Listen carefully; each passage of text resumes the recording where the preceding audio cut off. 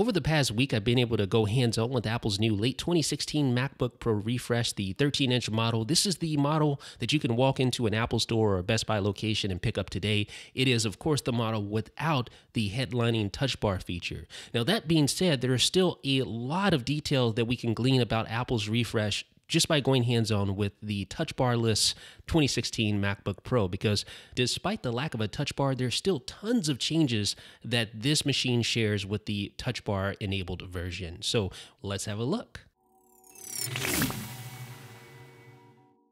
So let's go ahead and unbox the MacBook Pro right now. Take the lid off here. Underneath, you'll see the MacBook Pro on top. We'll just set that aside for the time being. Underneath the machine, you'll find some documentation, including some stickers inside this little package here. You'll also find a 61 watt power adapter. Now, this isn't your typical MagSafe power adapter. This is a USB C enabled adapter, and it comes with a USB C 2 meter length cable inside the box. So MagSafe is no more, and you don't get an extension cord. If you want an extension cord, you'll need to buy one separately at the Apple Store. So taking off the plastic protector, here's the MacBook. We'll open the lid and we'll remove the screen protector. And there we go, ladies and gentlemen, the 13-inch MacBook Pro unboxed. While space gray seems to be a thing of the past as far as iPhones are concerned, the MacBook Pro now gets a color other than silver, and that of course is space gray. Hey, I'll take it. Chassis. The most striking difference between the previous MacBook Pro and the late 2016 models is the styling and build of the chassis. The updated MacBook Pro is actually like a mesh between the 12 inch Retina MacBook and the previous generation MacBook Pro. Although it avoids going the tapered route, the device's chassis is smaller than its predecessor in all facets. It's thinner, takes up less horizontal and vertical real estate. It's also a half a pound lighter than the last generation model. And the bezels, those surrounding the screen and the keyboard, are now smaller as well. And that allows the notebook to have a smaller form factor while retaining the same screen size and keyboard size. Another big difference has to do with the hinge that supports the screen on the back of the device. You'll no longer find that plastic black mesh point that's on the rear of the hinge. It's now all aluminum, just like the 12 inch MacBook. This ultimately affords a much more premium look and feel when the lid is closed. Bye bye MagSafe. The most conspicuous difference between this year's MacBook Pro charger and the previous generation charger is the lack of MagSafe, that handy magnetic connector that helped prevent accidental tripping hazards in the past.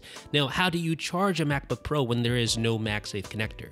The answer is USB-C. That does everything. Along with providing connections to peripherals, the USB-C ports can also be used to power and recharge the MacBook Pro's battery, and you can use any of the ports to do so. One thing that you will miss is the extension cable that used to come with with Apple's MacBooks. There is a 2 meter USB C cable included, which is nice, but that extension cable will be missed by some. Now, there are some obvious downsides by eliminating that dedicated MagSafe connector, the most obvious being the tripping hazards that you'll now have with the USB C connection because it no longer automatically or easily detaches, I should say, if you happen to trip over that cable. Also, one other thing that the MagSafe connector provided was that nice little LED indicator to let you know when the MacBook was charging or when it was fully charged or when it wasn't charging. With USB-C charging cables, you lose those benefits as well. Now, I don't want to make it seem like I'm totally raining on the USB-C parade because it does have a lot of advantages. It's capable of delivering power up to 100 watts, which is more than enough for the 61 watt adapter included with the 13-inch MacBook Pro. USB-C is also bidirectional, meaning that it can both send and receive power over the same port, and you can use any of the ports to charge your MacBook. We'll talk about more advantages of that USB-C connector in a few. Battery life. Apple is promising 10 hours of battery life for wireless web browsing and iTunes movie watching, and this is made possible by the 54.5 watt hour battery contained within this 13 inch MacBook Pro, which is actually slightly larger than the battery contained inside the 13 inch model with the touch bar. This, coupled with the processor's lower TDP, should result in better battery life than advertised, and I was actually able to get fairly good battery life. I was able to get around 13 hours just browsing the web and doing mundane tasks, no video editing or anything anything like that, but I was able to easily surpass Apple's 10 hour battery rating for this 13 inch model. Auto boot and startup chime. You're going to notice some differences with the MacBook Pro when it comes to booting and startup.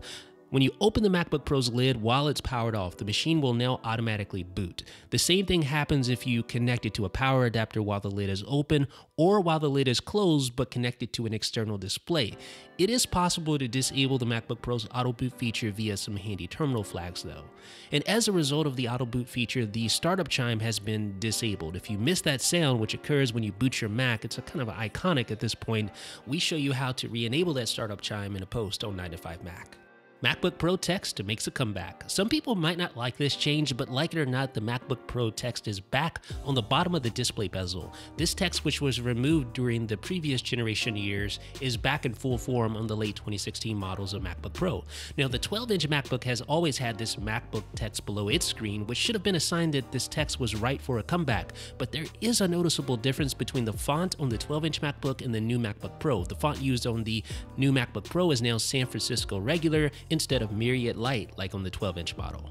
No glowing Apple logo. 12 inch MacBook users will already be accustomed to this change, but those of you who grew fond of the glowing Apple logo on previous generation MacBook Pros will be sad to see that it is no more. The glow was made possible by the backlight of the display, but since Apple's latest MacBook displays are so thin, that glowing logo had to be scrapped for a color matched inset logo, in this case, space gray. Speed. The base 13-inch MacBook Pro with function keys includes a 2 GHz Intel Core i5 with 8 GB of RAM. All 13-inch models of the MacBook Pro lack discrete graphics, but the low-end model sports an Intel Iris 540 integrated GPU and features a power-sipping 15-watt TDP. In other words, don't expect this machine, whose dual-core processor can turbo up to 3.1 GHz, to run at high speeds for an extended amount of time. That said, there are upgrade options for the entry-level 13-inch MacBook Pro. You can upgrade the processor up to an i7, you can upgrade the RAM to 16 gigabytes, and there are additional flash storage capacities. But those in the market for this MacBook, I think they will stick with the stock configuration most of the time. So I did do a few benchmarks you can see here. Nothing spectacular for the 13-inch MacBook Pro, pretty pedestrian scores there for single core and multi-core. I did do a 5K test with Final Cut Pro though, and you can see it definitely beats the 12 inch MacBook. So if you need this for Final Cut Pro, it's actually pretty decent. Graphics wise, no surprise here, the Intel Iris 540 is not impressive at all. In fact, the iPad Pro is pretty much neck and neck with it. The most impressive thing about this machine from a performance perspective is with the disk read and write speed. The new SSD is just ridiculously fast on all models across the entire Pro lineup, and I think you're going to be very happy by what you get here when it comes to disk read and write speeds. As you guys know, the new MacBook Pro basically features no ports. Okay, it, it, features two ports. It features two Thunderbolt 3 ports, which have the USB-C form factor, and it includes a 3.5 millimeter headphone jack, which is sort of ironic given the iPhone 7 situation right now. But a lot of ports have been axed on this new MacBook Pro. You no longer get an SD card reader. You no longer get USB A, which are legacy ports. You no longer get Thunderbolt 2 or mini display port. You no longer get HDMI. So that's a lot of ports to kill off in one revision. And the response has been very negative. In fact, it's been so negative that Apple has been compelled to reduce the price of its USB C adapters and its dongles.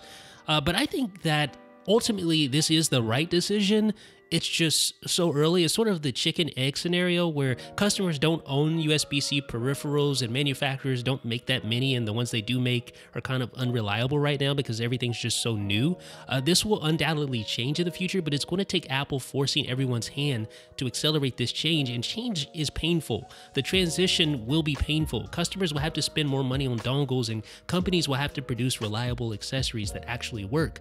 But Apple is obviously very bullish on the potential and power of Thunderbolt 3, and rightfully so. Thunderbolt 3 is a do all interface that rolls almost everything, including power delivery, into a single port. Apple removed a lot of ports, but the good news is that the ports it did add, although there are only two on a 13 inch entry level MacBook Pro, the ports that it did add are extremely flexible. They can be daisy chained, they're super powerful. This cannot be understated. Thunderbolt 3 is basically a new era of computing. It's going to take some time, but in the end, this technology has the potential to greatly simplify our desktop work areas while providing providing flexibility that we didn't have in the past. Now, granted, you only get those two Thunderbolt ports instead of the four that you get on higher end models, but the good news is that both ports are wired to Intel's Alpine Ridge Thunderbolt 3 controller, so this means that both ports offer full PCIe 3.0 bandwidth.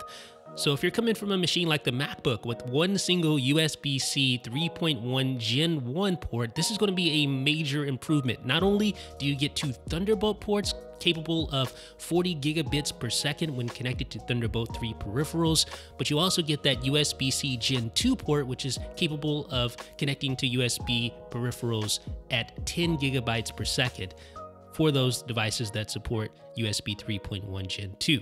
And Thunderbolt 3 on the 13-inch MacBook Pro means that you can connect up to two 4K displays at 60 Hz or a single 5K display at 60 Hz. Now, there is still a lot of confusion and a lot of incompatibilities with some of the, the monitors and some of the accessories out there, so it's going to take a while before things settle down and you're really going to start being able to develop a real serious workflow with Thunderbolt 3, but the foundation has been laid and it is very exciting. Improved display. The great thing about the MacBook Pro refresh is that all models, including the entry-level model, has a better P3 wide color display. Slowly but surely, Apple's beginning to roll out wide color displays across its entire product line, and the MacBook Pro is the latest such device to receive that wide color display. The difference is a 25% increase in available colors, making images that support wide color appear to pop on screen with more vibrant greens and vibrant reds. And thanks to a brighter 500 nit LED backlight, the MacBook Pro's display is also the brightest display that Apple has ever shipped in a Mac notebook.